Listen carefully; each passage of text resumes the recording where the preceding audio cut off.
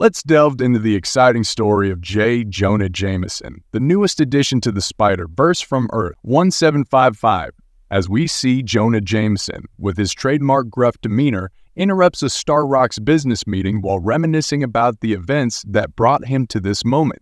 Just a week ago, he, accompanied by his unpaid intern Peter Parker, visited Dr. Curt Connors for a ribbon cutting ceremony. Jameson, as the benefactor behind Connors' research, confronts him calling him Dr. Dolittle with my money, questioning the purpose of his research if it couldn't save Connors' son. And little did he know that during this encounter, a spider would bite his hand, forever changing his destiny.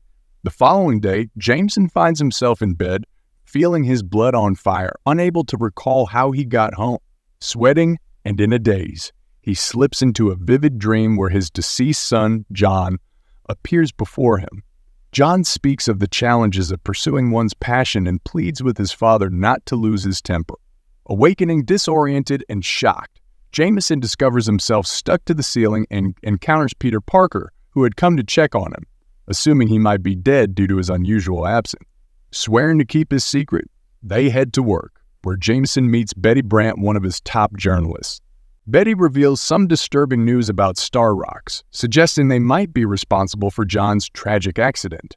Determined to uncover the truth, Jameson, with Peter's guidance, delves into the investigation. However, things take a dangerous turn when the Shocker, a formidable adversary, appears to take down Jameson. During their intense confrontation, the Shocker inadvertently reveals his involvement in John's death. Filled with rage, Jameson strikes the shocker, sending him flying out of the building.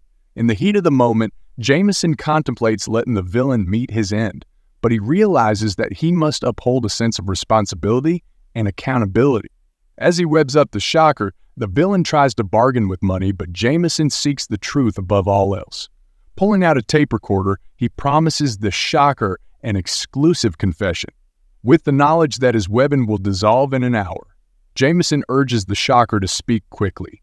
Unaware of the shocking revelation, Jameson hands over the tape to Peter, who works as both a photographer and Spider, man's alter ego. Peter envisions the headline and assures Jameson that his photo might even make the front page, dubbing him Spider Man. However, Jameson dismisses the name as amateurish and tells Peter to stick to photography while he handles the writing. With that, Jameson swings off into the city to face new challenges and continue his crusade for justice as the headline, a fitting moniker for a man whose words hold great power in the Spider Verse.